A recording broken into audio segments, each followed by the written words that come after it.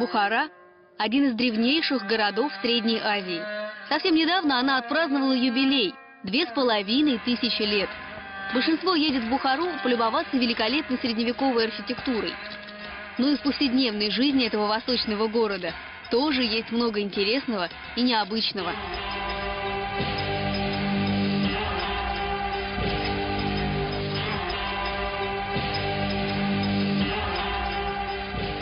Самого вечера мужчины начинают готовить плов, чтобы на заре после утреннего намаза угостить им друзей, знакомых и соседей. Так в Бухаре начинается свадьба. Приготовление свадебного плова – целое искусство.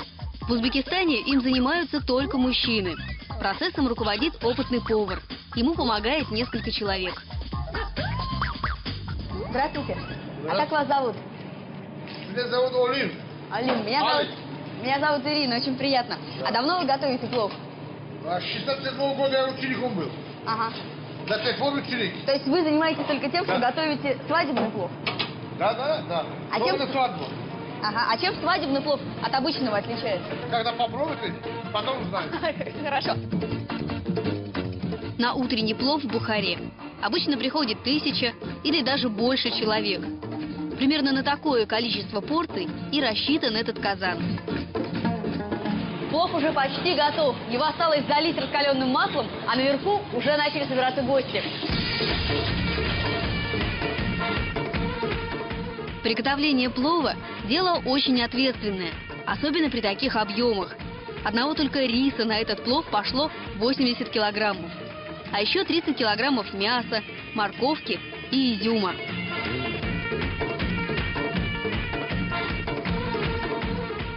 Мне трудно понять, как можно в 8 утра с таким удовольствием поедать жирный плов. У узбеков своя логика. Плов – пища тяжелая, поэтому есть его лучше пораньше. Всего 8 утра, а все уже сытые и довольные. А впереди еще целый день. С утра на плов приходят только мужчины. То есть плов – это своего рода мальчишник перед свадьбой, на котором жених прощается с холостой жизнью.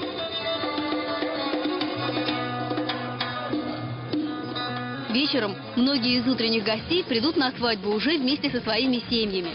Я тоже сюда вернусь, а пока прогуляюсь по Бухаре.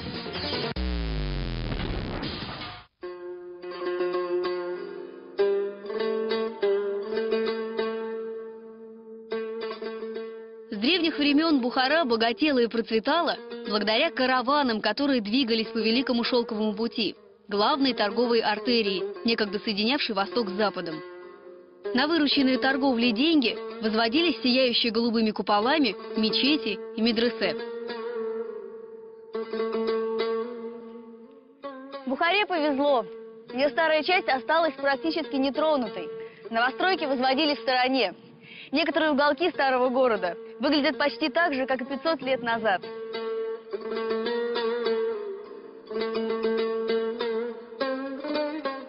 Древний город был построен вокруг огромной цитадели Арк. Арк в Средней Азии – это то же, что Кремль, центральная городская крепость.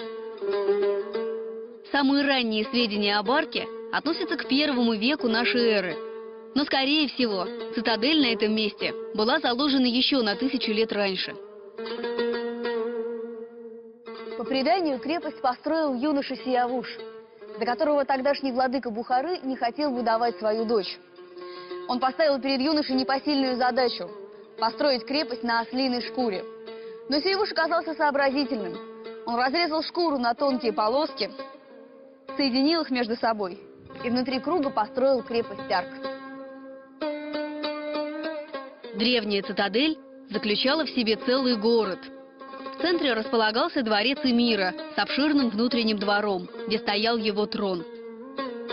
Отсюда владыки Бухарского ханства правили своими землями.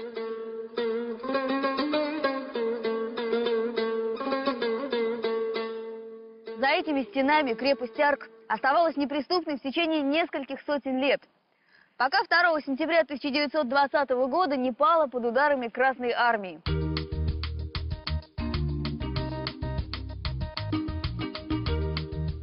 Во время штурма в Арке были разрушены 80% зданий. С тех пор бухарцы, мягко говоря, недолюбливают красного командарма Фрунзе, руководившего штурмом города.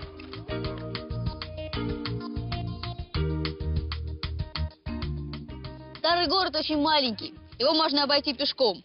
А я решила объехать его на ослике. Хотя найти такой экзотический вид транспорта в Бухаре было непросто.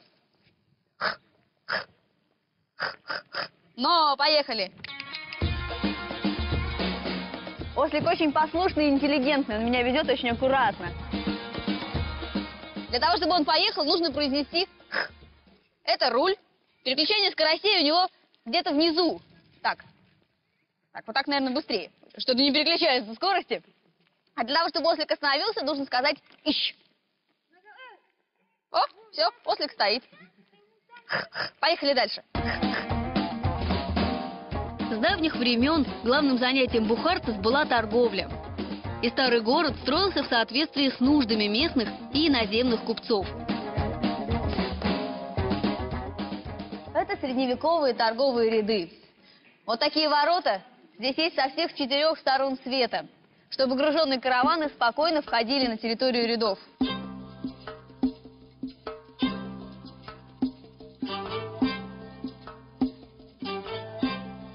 Самая древняя постройка Бухары – мавзолей Исмаила Самани, великого эмира и основателя целой династии саманидов.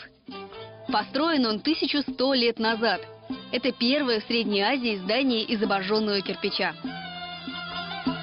В отличие от большинства своих современников, мавзолей саманидов пережил нашествие Чингисхана, который имел обыкновение сравнивать с землей все города, которые попадались ему на пути. При приближении завоевателя местные жители засыпали мавзолей песком. Получился такой холмик или курган, а потом его разрыли.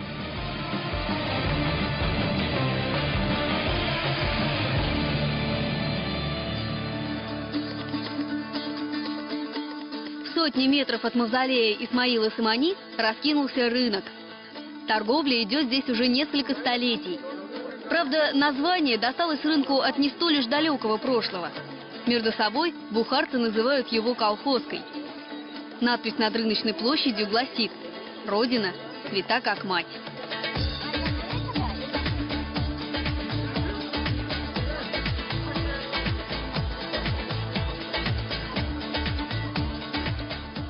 Я пришла на рыночные ряды, где продают праздничную национальную одежду.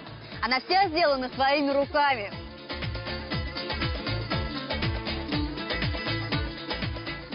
А между прочим, вот такое золотое шитье делают только в Бухаре. А можно померить халат? Да, пожалуйста. Ага. А вы мне помогите? Какой красивый. Мгм. Так. Ой, по-моему, он мне великоват как-то.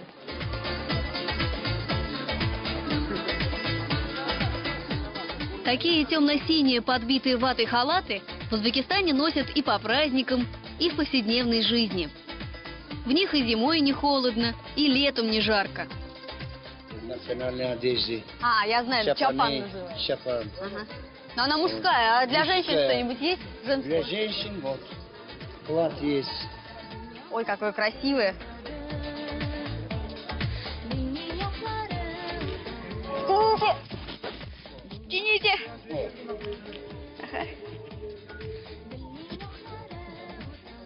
Так, еще тюбетейка. Тюбетейка. вот. Тюбетейка называется, да? Национальная тюбетейка. Ну что, по-моему, я как настоящая узбечка уже выгляжу. Мне очень нравится. Вот комплект. Угу. Все, я беру комплект. Весь. Хорошо. А сколько стоит? 25 тысяч. 25. Да. Я возьму за 20. Хорошо, возьмите. Так, значит, 20 тысяч сумм, это значит э, 40 бумажек по 500. Суммы очень мелкие, деньги неудобно, но чувствуешь себя настоящим королем. Такими пачками денег все ходят. Так, сейчас. Сейчас снова. Два, три. А я видела, как вы быстро считаете деньги. Можете мне 40 бумажек отсчитать?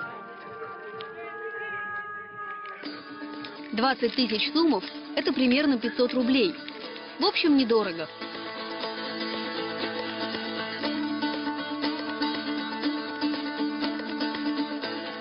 В Бухаре, куда ни пойдешь, обязательно выйдешь на небольшую площадь, которая на протяжении столетий была центром древнего города.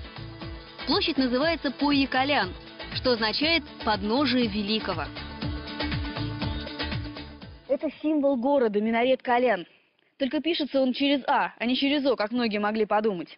Это самое высокое здание в городе. В древности на него ориентировались караваны, которые шли в сторону Бухары.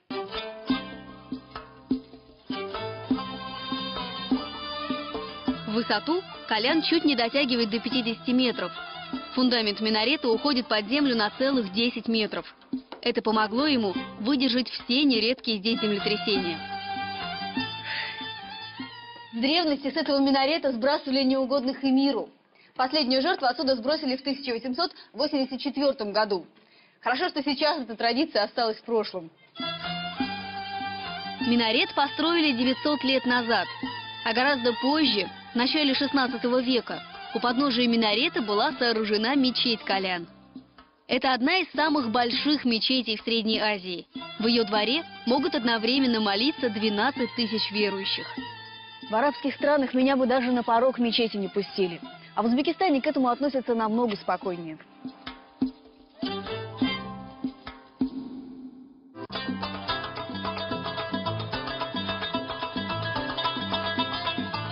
Здания в Средней Азии любили украшать замысловатыми узорами. Они создают впечатление, что стены резные и просвечивают на фоне неба. Среднеазиатский орнамент зачастую несет в себе определенный смысл. Это не просто орнамент, это стилизованная арабская вязь. Вот здесь написано «Аллах», вот там написано «Жив», а это имя пророка Мухаммеда.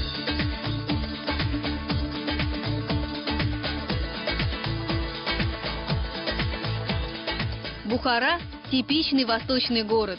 Торговля здесь идет повсюду, где только можно – в том числе и у самых стен мечети Колян. Больше всего места тут занимает рынок ковров. Ковер – совершенно незаменимая вещь в среднеазиатском доме. В древности мастера вкладывали особый смысл в цвет, в орнаменты и в расположение рисунка на ковре.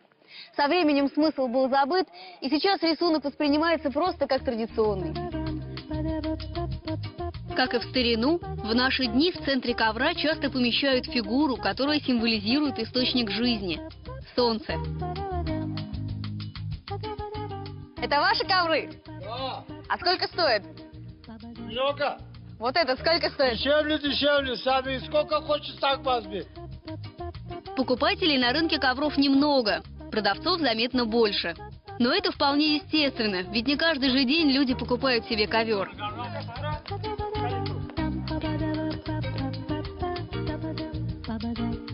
Все эти ковры сделаны на фабрике. Их можно купить и в Москве. Разве что обойдутся они раза в три дороже. Но есть здесь такие ковры, которые можно купить только в Бухаре. Здравствуйте. Ой, сколько у вас ковров. А можно пройти посмотреть туда? Угу. Спасибо. Ой.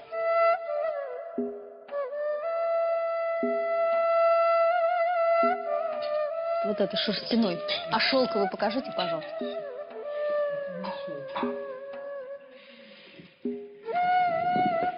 О, какой красивый ковер. Шелковые ковры дорогое удовольствие. Такой стоит э, около полутора тысяч долларов. И, в принципе, это неудивительно. Мастерица потратила на изготовление такого ковра около четырех месяцев. Спасибо. В той же лавке, где ковры продают, расположилась и небольшая ковровая мастерская. Ковер делают так. Навязывают на натянутые на станок нити основы разноцветные узелки, обрезают лишнее. Потом навязанные узелки старательно уплотняют, выравнивают. Узелки должны быть совсем мелкими, так как качество ковра знатоки оценивают, подсчитывая их количество на один квадратный сантиметр. Если их сто и больше, ковер хороший, можно брать. Отличить фабричный ковер от домотканного очень просто. Нужно перевернуть его наизнанку. Фабричный ковер практически не имеет рисунка с изнанки. А домотканный повторяет рисунок лицевой стороны. А еще можно посмотреть на бахрому. У домотканного она является частью основы, а у фабричного это просто украшение. Настоящий бухарский ковер прослужит десятки, а то и сотни лет. Он не вытирается, не тускнеет и не рвется.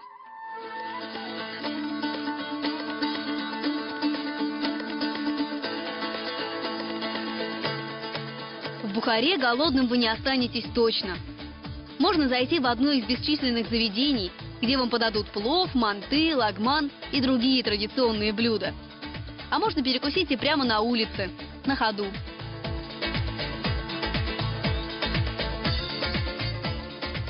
Вот так прямо на тротуаре вдоль дороги стоят такие печки. Называются тандыры. В них готовят самсу.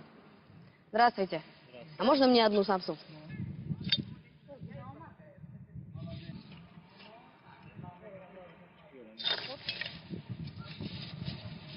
Спасибо. Эх, зря вы мне ее завернули, я ее сейчас пробовать буду. М, Ну, пожалуй, такого в России вы не найдете. Спасибо.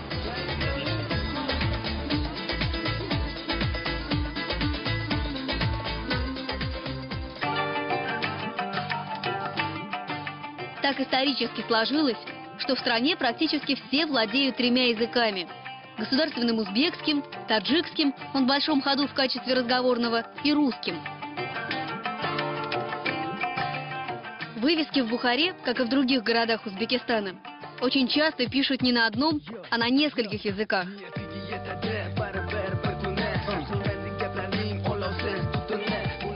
Русский язык широко распространен в Узбекистане со времен Советского Союза.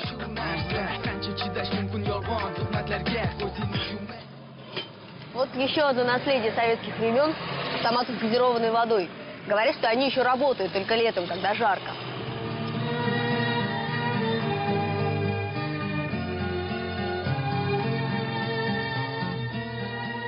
Советская власть принесла в Узбекистан не только сильную до сих пор дружбу народов, но и гонения на ислам, которые прекратились с распадом СССР. Ислам утвердился на земле бухарского оазиса в начале восьмого века, а 200 лет спустя здесь распространилось мистическое направление ислама – суфизм. Бухара считается одним из священных городов суфизма. Город помнит многих великих суфиев. Один из самых почитаемых – Бахаудин Накшбанд. Мавзолей суфийского святого Бахаудина Накшбанда считается среднеазиатской Меккой. Сюда, как и в Мекку, приезжают верующие из разных мусульманских стран, чтобы попросить исполнения желаний и отвращения грехов. Считается, что из святого места до Аллаха молитвы доходят лучше всего. Суфийских праведников очень почитают. Считается, что при жизни они путем медитации и аскезы нашли путь к Аллаху и после смерти особо приближены к нему. На Востоке верят, что могилы праведников суфиев и другие связанные со святыми места и реликвии наделены сверхъестественной силой. Мусульмане считают, что это дерево обладает чудодейственными свойствами, потому что оно выросло из посоха Бахаудина Накшбанди. Его нужно обойти три раза кругом и подлезть под него, и загадать желание. Или положить немножко денег, тогда желание обязательно сбудется.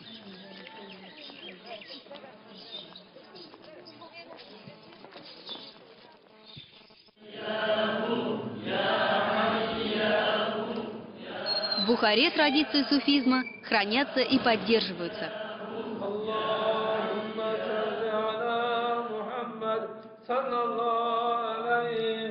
Основная суфийская практика, которая жила в современном Узбекистане, называется дикр. Дикр в переводе с арабского означает упоминание Аллаха. Для овладения зикром существует целая система упражнений. Например, ученики повторяют за муфтием хадисы, изречения о деяниях пророка Мухаммеда, и при этом особенным образом дышат.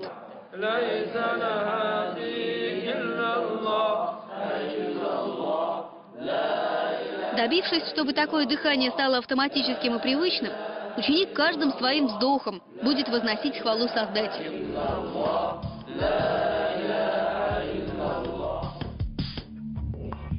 Зикр бывает внешним, то есть высказанным вслух, и внутренним, то есть произнесенным в сердце. В идеале внутренний зикр нужно творить постоянно.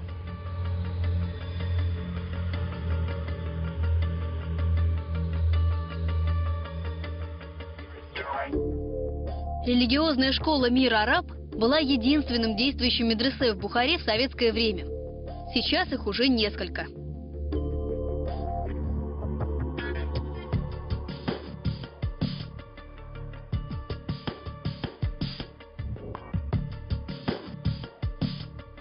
Мусульманские традиции постепенно возрождаются. Но ислам здесь еще не имеет прежнего значения. И узбекская свадьба выглядит совершенно светским мероприятием.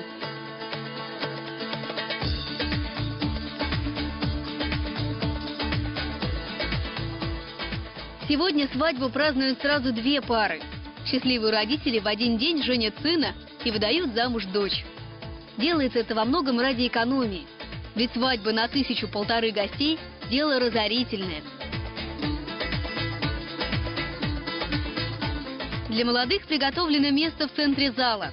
Там они из почтения к гостям ни разу не присев будут стоять несколько часов до самого окончания праздника.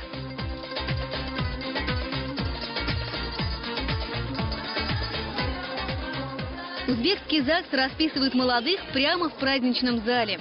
Его представитель приезжает на место с необходимыми документами и кольцами.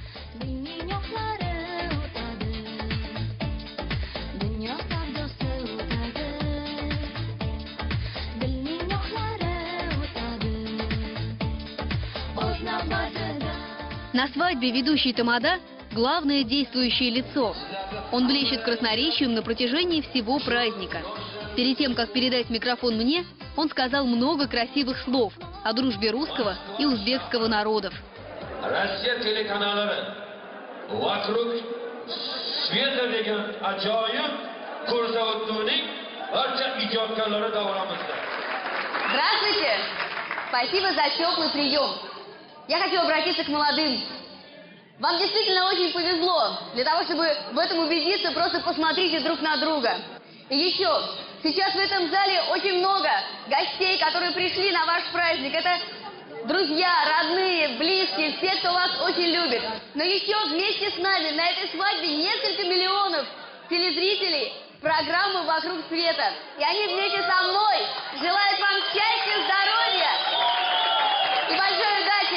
काशी बहुदा की वंशिष्णी